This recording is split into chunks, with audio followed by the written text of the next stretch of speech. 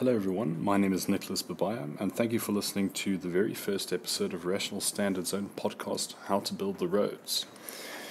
As a team, Rational Standard, we decided that we had to start a new form of media in order to expand our reach on the internet. For a few years now, we have been publishing articles at rationalstandard.com, and we even ventured into print media with uh, our very first book, Fallism, which was an edited version of some of our best articles over our first year. Um, however, as times are changing, uh, news outlets are reaching into different sectors of the media, putting videos up, podcasts, and so on and so forth. And many of these podcasts have proven to be extremely successful. So here I am, and uh, we'll see how this goes. We'll be inviting some interesting people to come and talk. And uh, without further ado, I'll introduce our first guest. So on the show today, you will hear me having a conversation with Mr. Ron Weissenberg. Now, Ron Weissenberg is a resident of Grahamstown, where I'm currently residing.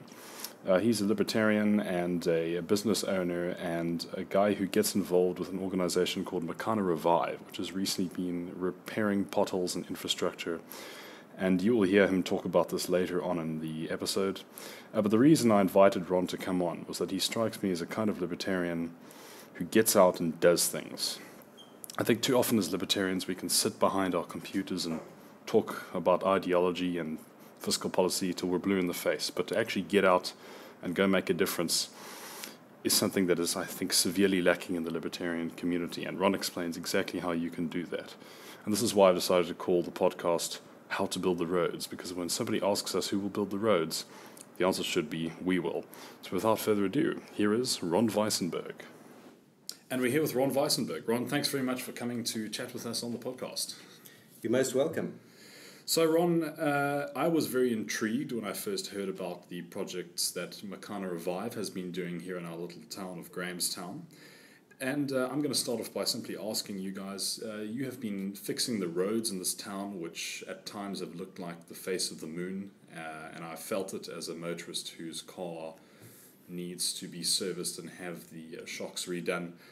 Um, how do private citizens go about fixing infrastructure, which I think the majority of South Africans just sort of take for granted that this is something that the government should and must do, something as basic as the road? How do private citizens go about doing that? Well, the short answer is they just do it. And in the case of Makana Revive, which is the organization that uh, was founded together with uh, business leaders and movers and shakers in Grahamstown. We decided that enough was enough, that we would establish a trust account and an infrastructure to allow private industry and contractors to attend to some of the infrastructure needs of Grahamstown that had deteriorated. So the short answer is you just get on and do it.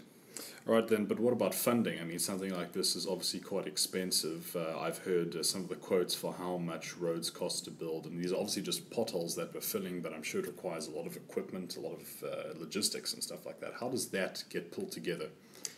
The funding model that we use is voluntary, consensual fundraising. So we appeal to the general community to give whatever resources they're able, and it could be money, but often it's just their time, contacts, communication, or skills and abilities. You're correct that it is expensive to maintain roads, but the maintenance of a road in terms of pothole filling, uh, sealing of fissures and cracks is a small fraction of what it costs to redo a road completely. And I understand as well, I remember you mentioning once that uh, you said now that the funding was done voluntarily, and I heard that I think some of the fundraising was done a bit over Facebook and, and, and social media and uh, reaching out to the community. Was, was that correct? Did you guys use uh, social media to try spread the word? Yes, correct. Look, i am a newbie to social media, but I highly recommend it. Yeah. Uh, it has some great applications. Just to let your listeners uh, understand how Makana Revive came about, we as an organization originally decided purely to look at those items that central government were not attending to. And that was specifically safety and security, where there are crime issues and they were not being adequately dealt with by the South African police services, who are either undermanaged, underled, or underfunded, and also to create an enabling environment to attract families, human capital, and businesses to Grahamstown and the greater Makana municipality. Again, it is the function of central government to create an environment in which people can live and prosper. And there was no evidence of government doing that. So the other part of Makana Revive was to look at aesthetics and how to improve the town to make it attractive for those people and businesses to consider settling. The pothole repair project came pretty much like a bolt out of the blue, and uh, no pun intended, but it, it, was as a result of the rains toward the end of 2017, where the already deteriorated roads were getting to a point where they were becoming irreparable. In other words, it wasn't viable to repair them. And as you've pointed out, it costs substantially more to redo a road. In fact, the quotations that we received is it's approximately three and a half million rand per kilometre to redo. Per kilometre. Per kilometre to redo effectively a double road, another, not a highway, purely a normal municipal road. And that's quite astounding. Three, three and a half. You say three and a half million rand. Three and a half million rand per kilometre. That is for the preparation and the resurfacing of a road. And this information, by the way, uh, sorry to interrupt you. I, I believe that uh, in your team you have a guy who's has an engineering background who came up with uh, this.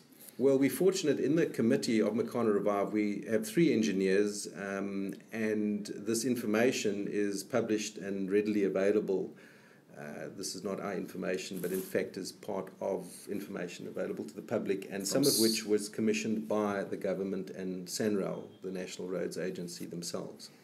Okay, well, this is all very interesting, uh, explaining how the how things get to how they are, and uh, I think the most amazing thing for me is that I've seen a very tangible difference from when I arrived back in Grahamstown to come back to Varsity and about a week or two later, and I'm still seeing the truck doing a few things now and again.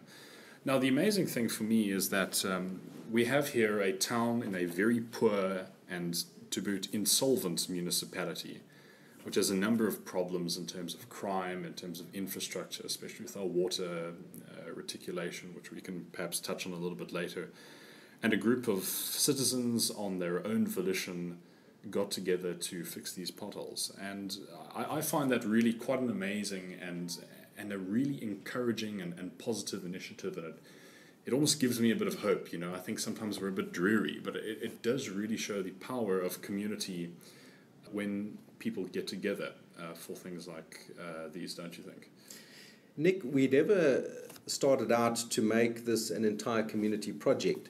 We simply took a decision to obtain quotes and get a particular technology in to repair potholes. We accumulated funds, we put down the guarantees, the contractor arrived, and on the day that he started, we put out a small Facebook request on the Grahamstown website for donations. And within a few hours, we had something like 6,000 hits, and the posting went viral, and we were getting donations from as far afield as Angola, never mind Greater Grahamstown.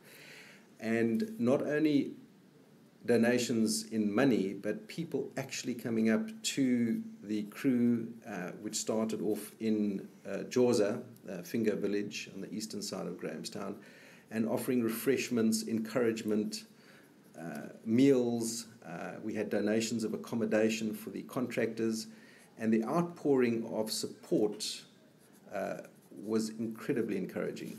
So, what started out as really a very limited private initiative on its own order of spontaneity uh, became a community thing. Well, it's really fantastic to hear. I think it's just a, a really lovely story, and I think part of the reason why I really wanted to talk to you about this and, and, and, and put it out for the public to hear is that we have a number of towns in South Africa which are very similar to Grahamstown, probably similar in size, uh, similar in the state of their governance. Maybe the infrastructure is also not so great. Grahamstown is unique, certainly, in the fact that it has a number of uh, very highly regarded schools as well as Rhodes University in the area. Uh, but the reason I, I really was interested in, in, chatting to you is that I hope the listeners can hear this and, and try and make a difference in whatever residential area that they live and try and get their own Makana Revive. Perhaps if you're in Queenstown, you can get the Chris Hani Municipality Revive, or if you're in uh, Port Alfred or Kenton, also, I have to be honest, the, the, infrastructure there seems quite good actually. I suppose the Ndlambe does a, a municipality might do a bit better, I don't know. Now, now, besides the roads, there are another a number of infrastructure problems that, that this municipality has. Uh, what did you say is next on the uh, horizon for Makana Revive? Do you guys have any more plans immediately, or what? Well, other than pothole repair and refurbishing roads where we can, we have also, in collaboration with the local business forum, uh, sponsored a number of livestock proof, or as livestock proof as you can get, uh, refuse bins which are serviced by a private entity. They're emptied three times a week and relined. Uh, those are dotted around the CBD and are now being introduced into the suburban areas. Those rubbish bins have signage, they have advertising, and they are sponsored either by individual, individual businesses or several, in our case, sponsored by Makana Revive. In addition to that, we have started to install and have monitored 24 7 closed circuit TV cameras.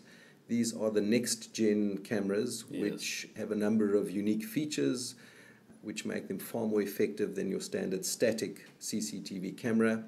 And as funding permits, we want to introduce more and more of these cameras, which in turn are monitored by a private company and a private armed response team, uh, with the full support, by the way, of the South African Police Service. Oh, that's wonderful then. That's wonderful to hear. And I think that's a great segue to my next question was what was what my next question was going to be, and that is that I think crime is another, you know, ever present problem in this town, unfortunately, as it is in most places in South Africa. I think it's almost tragic the crime problem that this country has, and I would almost go so far as to label it a, a crisis. I think it affects the way South Africans live I think our quality or standard of living, and, and this is all South Africans really, is diminished by needing to worry about this extra problem, uh, which can, if you are a victim of it, be extremely traumatic and, and really scar you for the rest of your life. I've heard a number of really, really horrible stories from friends of mine who have been mugged or had worse things now, I remember you, the reason I bring this up is I remember you mentioning earlier that one of the goals of Makana Revive, and correct me if I'm phrasing this wrong, was to provide an environment which is attractive, attractive uh, for people to come live and, and do business in. And crime seems to me to be, uh, you know, a, a massive issue uh, in this town. Uh, and you've mentioned now that security cameras are getting put up. Um, I wanted to ask, is there any sort of initiative uh, on the horizon with regards to uh, community watch sort of programs, uh, regulation of car guards who unfortunately have been known to mug uh, certainly students from uh, my knowledge. Uh, any, anything like that um, from Makana Revive? I think Makana Revive has to be very careful in not overextending itself. Yeah. There are, we, we are very blessed to have uh, an incredibly talented panel and committee, and we have tremendous input from the community. Crime, as you said, is one of the worst uh, issues facing South Africa. Uh, but if there is a presence, if people are aware that there's monitoring, you find that there's a natural decline in crime rates. And a lot of the crime in Grahamstown is regrettably petty crime, and it's uh, by and large poor indigent folk who, through desperation, do crime. Yes, so, by providing an enabling environment for businesses, families, human capital to settle, which has a whole lot of spin off effects. Uh, in turn, employment, job, wealth creation occurs, and that is probably the best way of reducing crime, in addition to the population being aware that uh, streets and roads are being monitored. Community watch systems uh, were very popular in the past. I think we have to face the reality that people live busy lives. It's really tough to make a living for most people Yeah. today. Definitely. And if anything, embracing technology can assist in doing that by reducing the net cost of crime monitoring and prevention. Well, again, uh, I, I think I fully agree with you on that one. And again, I think it's important to note that uh, the security of individuals is something which I think even the most ardent libertarians or advocates of small government think is a legitimate role of government. And there are still ways uh, in which private individuals can band together and try and fulfill this need. Now, I'd also like to segue to another point, um, and you did mention trying to make Makana more attractive to business.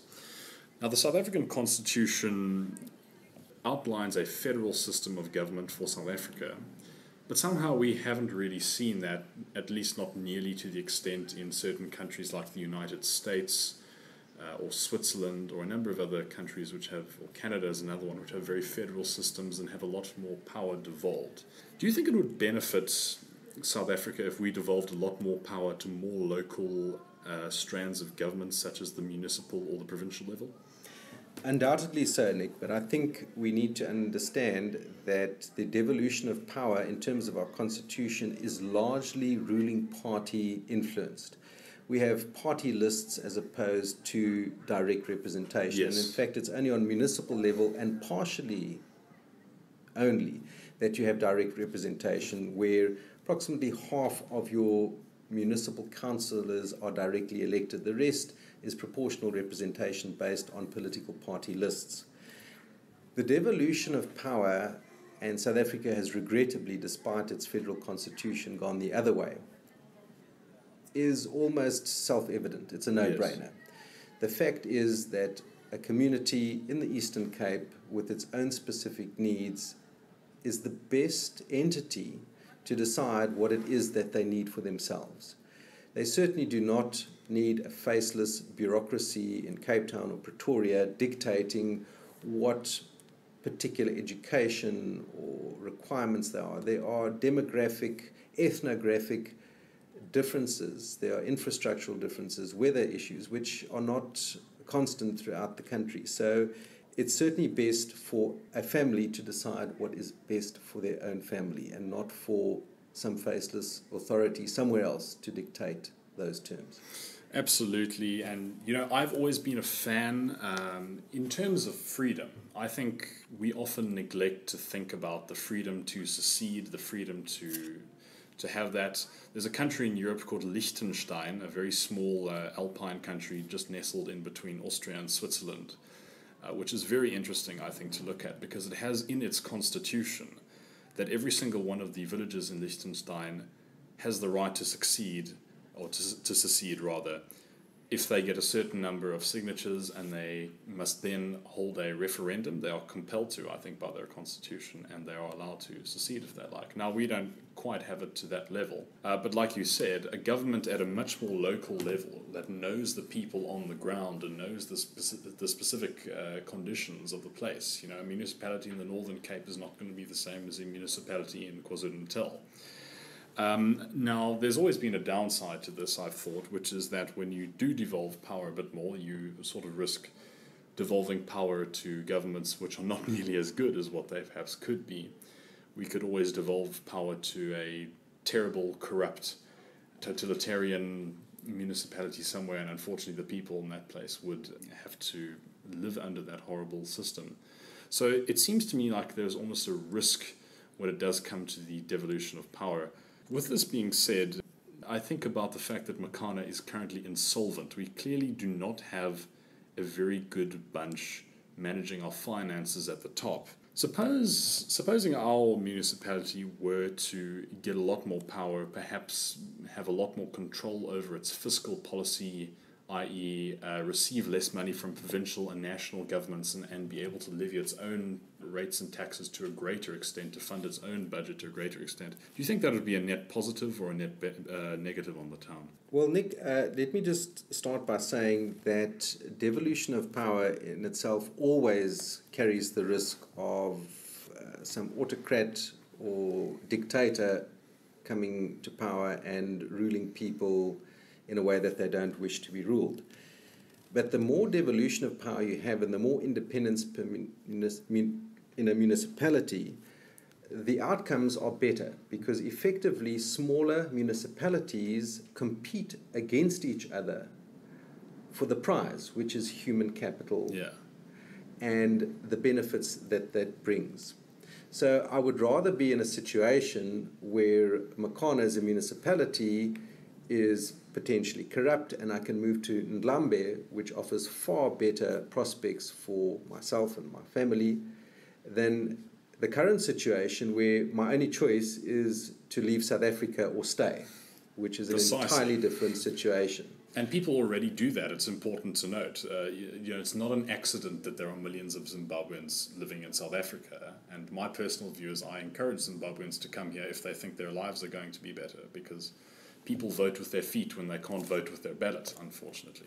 Yes, and and uh, it's often misunderstood, but uh, immigrants, and I'm, I refer specifically to immigrants, not refugees, often make the best citizens because before they've even left, they've taken the decision to be resourceful and to be self empowered sufficiently to make a move from one region to the next, which is extremely brave and shows a lot of character in itself. Speaking of self determination, yes. devolution of power, and secession, uh, South Africa's constitution does provide somewhat for that under Section 235, which allows for communities uh, sharing a common language, culture, or heritage to acquire certain rights uh, of self determination and self rule. And of course, one example, infamous as it may be, is Orania in the Northern Cape. Naturally. Uh, and if anybody ever has the chance, I would recommend visit, uh, engage with the townsfolk, and see how they have taken literally an arid piece of desert and turned it into an oasis of possibility.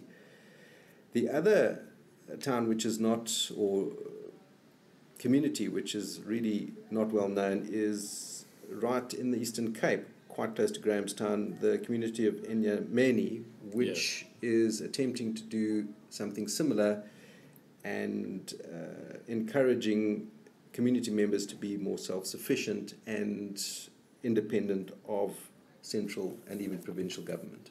Yes, well, we here we have two examples which are sort of polar opposites in terms of uh, socio-cultural environments that they are in. Obviously, Orania is a very conservative Afrikaans uh, town. That you know the aim was to preservation of their culture, and but here we have you know this, essentially the same thing in the Eastern Cape. And what I also find quite interesting is that very recently in the National Assembly, uh, the leader of the IFP, Mangosuthu Buthelezi, has raised the case of a certain trust in KZN. I don't know. Do, would you have the name of that? I've forgotten. I don't have it offhand, uh, but uh, if you study the manifesto of the Inkatha Freedom Party, uh, you'll see that their constitution and policies are decidedly federal uh, and promote the devolution of power and individual rights and responsibilities. And that is quite interesting to note because the IFP is really a Zulu nationalist party. They, you know, their primary voting base are rural uh, is rural KZN. And they have almost recognized that as a result of them being a political party which is nationalist in its nature, they want to look after their own group of people, and the best way they can do that is through having a more federal, more devolved system. As well as being a party which seems to look out for property rights. We've recently been having a debate over land expropriation without compensation, uh, which is a bit scary for many because we know what happened in Zimbabwe.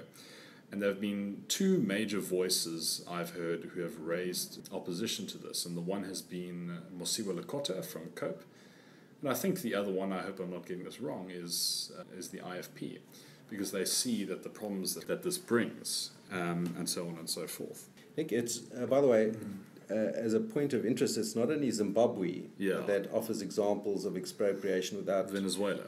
there's Venezuela, and in fact, in South Africa. What is not commonly appreciated is that the mineral rights that were privately held Oh, yes. in South Africa, of which there were millions uh, of hectares, uh, were expropriated in effect without any compensation. What happened Are you, is. I'm sorry to interrupt. Are you referring to a piece of legislation that was recently passed? Like this was a couple of years ago. Was this about? This, this was a few years ago Okay. where uh, South Africa has a joint mineral right ownership uh, regime where either the state or private sector or private people own mineral rights. And effectively, legislation was introduced making the government the custodian of the mineral rights. I do remember this now. Yes. So, in effect, what you have is a title deed that says you own the rights for the minerals and you own the minerals themselves that are mined, but the custodian, which is the government, uh, decides how that is done. So, the best example is you owning a house, having the title deed for that house, but the government determining who may stay in the house, what rent you may charge, and the actual ownership uh, structure within the property. The result of that has been a mining industry which you can see has been in decline for many, many years. And there are other factors as well. Uh, commodity markets come and go. There are certain commodities, uh, precious metals, which have become more difficult to mine of course. Yeah. resources. However, South Africa missed the commodities boom of the late uh, 90s. to 90 into the 2000s. And the mining industry currently is in a state of decline, with South Africa going from the foremost producer of gold in the world, producing 80% of the world's gold, to now position number seven. Yes, I remember the day that we dropped to second place and how big of a news story that was. So the fact that we are down to number seven. Look, I, when we talk about commodities, my first thought immediately is, well, are we are we not just running out of finite minerals, uh, perhaps?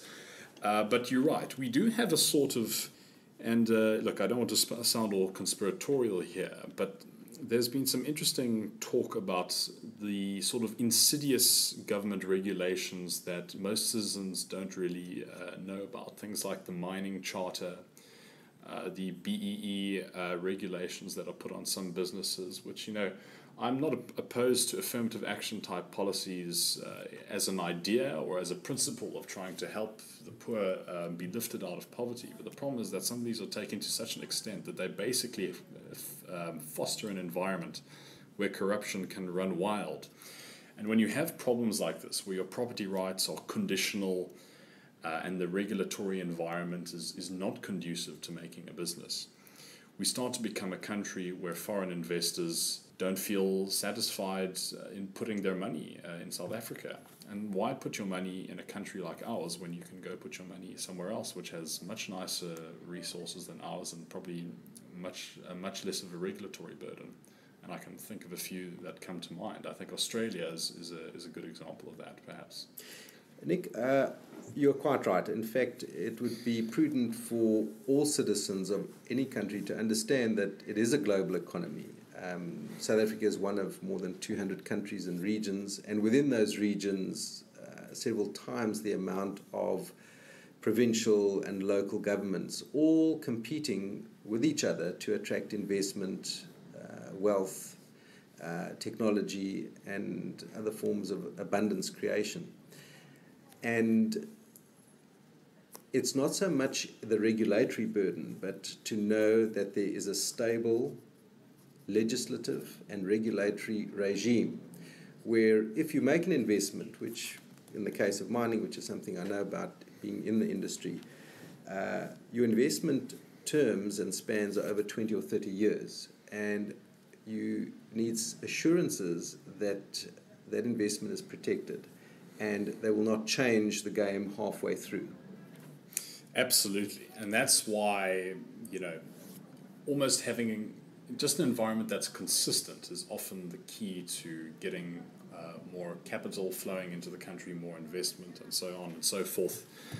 Um, now, I, would also like to bring a point which I think is going to be a big positive for South Africa, and that was it happened quite a while ago, but the SACP effectively splitting from the ANC, and I think they will be contesting our next set of elections as a separate political party in my view, there were a lot of guys in the SACP who were pushing policies that were really not so fantastic. So I, I really have a bit of hope, I think, in that regard, that we might see the ANC turn a bit on this. However, with Cyril Ramaphosa's recent speech um, regarding land expropriation, I get a little bit nervous again, although he does seem to be committed to more of a restorative rather than a redistributive view of, of property rights, at least. Uh, but we'll have to see how that goes. Now, one of the ways free marketers have sort of tried to get around all of this is the advent of cryptocurrency. And I think the time I most appreciated cryptocurrency and where it can fill in the gaps for where government gets into the way of these things is when I traveled overseas and I had to exchange rands into foreign currency and I saw the enormous tariffs and fees I had to pay just to change and all the forms I had to fill out, a lot of which is as a result of um, the South African Reserve Bank, which you know, keeps a monopoly on the money supply. So I understand that you are a fairly avid trader in cryptocurrencies. I've become a little bit skeptical of them recently. Let me uh, start off by asking you uh, do you think cryptocurrencies are a good investment? Cryptocurrencies to my mind, are not an investment. It is a vehicle through which you can trade. And that, in effect, is what it is. The reason that there's such volatility uh, in cryptocurrencies is firstly because it is a relatively new phenomenon. Yeah. Um, and people are, are, are, it's almost like an effect where the more people get onto it, the more it's like a, an exponential effect in terms of its popularity, and that's made it very. It, it's, been, it's gone up and up and up, but it's been also very unstable. It's been very unstable, and at this point, up to several hundred different cryptocurrencies have been launched, and I think that's a great idea. Absolutely. The more the merrier, and let the market decide based on integrity of the currency, uh, its tradability, its reputation whatever backs it up.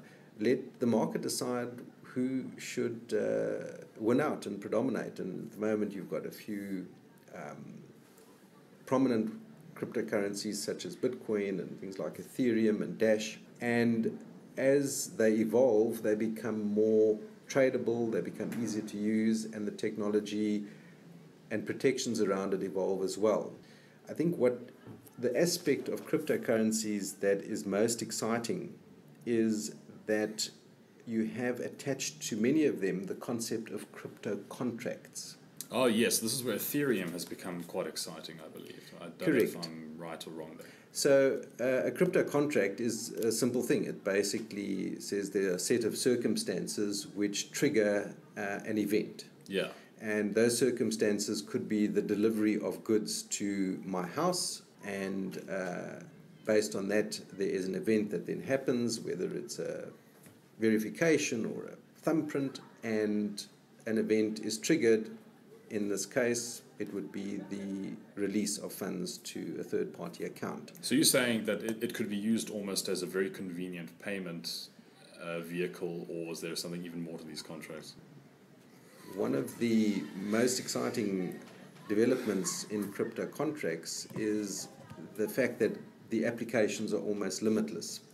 And I think this is why authorities feel most threatened by them. And a good example would be your ubiquitous title deed on a property. Oh, of course, yes. So, a title deed, uh, at least in South Africa, and property transfer is extremely laborious, and the government has a monopoly on the holding and issuing of title deeds. So, the question is why should that be in government hands? if there is a mechanism that a willing buyer and willing seller respect and agree to, uh, government doesn't have to be involved in that at all. Well, I'm, so, I'm sorry to interrupt you here, but I'm just interested to ask is the buying and selling of property rights not something which is covered in South African contract law? Was this a whole regulatory process itself? The buying and selling of property is in contract law. There are mechanisms ostensibly to prevent abuse and protections that have been developed over the years, which require a lot of extra expense, and those are specialized legal services in the form of conveyances and people who are only authorized by the state to conduct these uh, transfers, and then the retention of documents and the issuing of documents. Uh, and those are all highly, highly regulated. Now, a crypto contract would work on exactly the same basis as any contract. So you would have a title deed, but the individual who had the crypto code or the set of numbers or algorithms to release could be able, literally in a split second, to transfer that property or that asset to another owner. And there could be all sorts of safeguards built into the system which would ensure that that transaction occurs. So I'm just trying to sort of conceptualize what this is because I have heard of this term before, and if I'm uh, not mistaken, this is why Ethereum became such a big thing, is because I think the code in Ethereum allowed uh, for these smart contracts. I've also heard that term being floated around uh, to take place. So, for example, if, if I wanted to buy your car, you're selling your car, and we create a crypto contract, within that contract there would be some sort of code, and upon you presenting the car to me, I would what? Put this code in on my well, uh, wallet or how, that? Fortunately, with mechanical things, it's relatively simple because you can either switch them on or off, and it requires a code or a mechanism to do that. So, in your example, if I sold you my car, uh, I would be selling you the code which would allow you access to start the vehicle and to access it. Oh, okay, I see. And once you have that code, you are free to change it, modify it as you wish, and obviously you need to look after that piece of information very carefully. Because oh, yes. if you lose it or don't have mechanisms to recover it, uh, effectively you are you've lost the use of a vehicle. And uh, these crypto contracts are, in fact, in use pretty much every day. You have smart contracts being used abroad by car hire companies where they would give you a code or a particular piece of software in hotel rooms to access your hotel room. Oh, that yes. is a smart contract. You have a programmed card with a set code on it that allows you access to that room and to the facilities in that room for a set period of time. So this is nothing new. It's just that we need to expand our thinking and our open mindedness to allow for these possibilities to become part of our everyday lives. Well, you know, it's a very interesting take on it. I I will be honest with you. I've been a little bit critical of cryptocurrency recently when I was thinking about it and comparing it as a means of exchange and then also as an investment. Now, I think the interesting thing is that a lot of people have now recently been using cryptocurrencies as a means of investment. I think um, the Winklevoss twins, or one of the Winklevoss twins who were part of the whole thing in the founding of Facebook, recently became Bitcoin millionaires or Bitcoin billionaires. I can't remember which one. Uh, and that's why it's been so ratchet going up and down because you have all these active traders on the market uh, changing the price the whole time. Um, and, and that made me a little bit skeptical of the viability of cryptos as a good means for exchange. Because if you have something like Bitcoin, for example, which up until very, very recently was just appreciating in value the whole time, you effectively would never really have the right opportunity cost for you to spend any amount of crypto or any amount of Bitcoin at least to buy something. Because if your currency would just keep appreciating in value, you would always think, well, why buy this today when I can buy it tomorrow when my crypto wallet will be worth more. And then you could always say, well, why buy it tomorrow when I could buy it the next day? And I think that was unfortunately one of the problems I, I had. Um, I have personally been very intrigued by a company called Gold Money. Um, have you heard of that name before? I don't know if you're aware of them. Well, if it's a cryptocurrency backed by a no, standard of value, which is gold. Not, not quite like that. It's effectively like a bank account, except instead of depositing money into account, you buy gold and you can actually choose which vault around the world your, your gold is located in, and they give you a, a debit card. And you can use your debit card just like you use anything else. It just basically deducts that much gold off your account. And the reason why I kind of like that was because gold's price over the last however many decades has been uh, relatively constant. It will obviously go up and down depending on active traders on the market and then also the scarcity of, of gold as a, as a precious metal. But compared to fiat currency and cryptos, it's incredibly stable. And I've always thought, you know, imagine if you were a wealthy Zimbabwean in the 1990s and you had bought a whole lot of gold when the Zimbabwean dollar was, I think, stronger than the US dollar. I hope I'm not making a mistake with that. I believe it was at one time. And then comes 2007 and the currency completely collapses. But unlike your comrades, you have a whole lot of gold stored, so you can go and use that. It hasn't depreciated in value as the Zim dollar has. Uh, it's just been there because it's this physical thing which is tangible and has actual uses. So I have personally been leaning more towards um, currency, as Austrian economists would say, sound money. And I quite like that idea. What do you think of the, uh, you know, I don't think this will happen anytime soon, but what do you think about like a gold or a silver standard? Well, Nick, I, I think you've uh, asked and answered your own question extremely well. Uh, we're in in a town called Grahamstown, we are surrounded by amazing technology, human capital, and the ability for you or any other person in this town to start their own cryptocurrency that is backed up by a recognizable store of value. In your case, you mentioned gold. It could be anything in particular, but gold is universal. Could be known. water these days. in Cape Town, it could be water. I may have bad news for you that if it really starts raining heavily in Cape Town, the value of your crypto water would be diminished dramatically. Yeah, maybe in Namibia we could try using water, but they seem to be very good at conserve. Anyway, but you've made a, a, an excellent point. There is nothing stopping anybody starting a currency that is backed up by proper value, and I think the key to that is to ensure that that value is recognized, and the means of recognition are available. It's good governance, it's good corporate ethics, it's establishing that value and coupling it to a reputable firm or set of circumstances which provide people the confidence to trade it. Um, so, the idea of cryptocurrencies evolving where they are backed by a universal, recognizable store of value is sound and I believe that's where it will go in the future. And those cryptocurrencies, which are exceptionally volatile and speculative, will have their place as well.